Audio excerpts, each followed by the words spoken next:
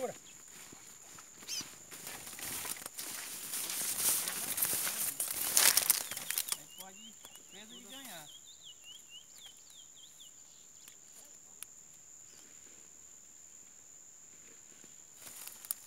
Pardinho solto. Show das presas, 22 edição.